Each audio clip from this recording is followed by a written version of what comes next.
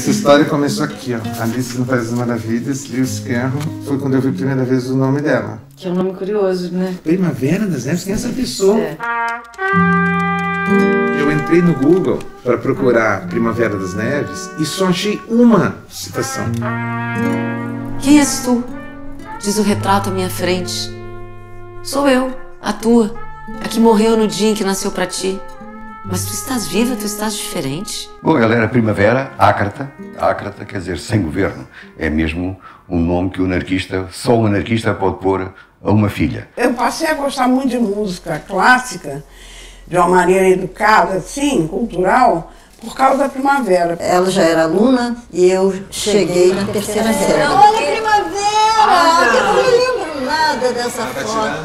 Que foto linda! Eu, eu próprio não sabia que ela tinha traduzido muitos livros, dezenas, e ela era exímia, traduzia do inglês, do francês, do espanhol, do alemão traduziu menos, e do italiano também.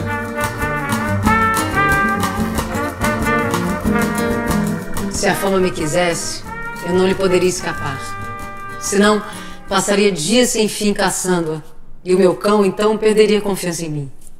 Prefiro continuar entre os descalços. É, é uma alma, a é uma alma. Eu recordo quando ela, quando ela, quando, quando ela foi de barco para o Brasil.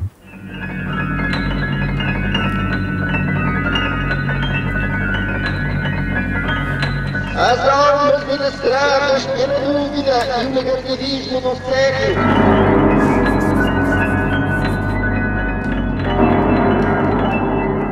Certa noite, sem dormir, eu estava lembrando dela. E aí vejo, quem é Primavera das Neves? Eu, eu levei um susto. Fiquei bastante emocionada e não resisti em escrever.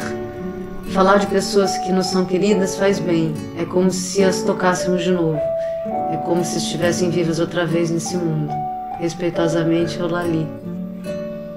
Que bonito. Para mim, a história estava encerrada ali. Eu disse, bom, eu já sei quem é, descobri e tal. Quando eu recebi a tua carta, eu disse, bom, essa história está mal começando.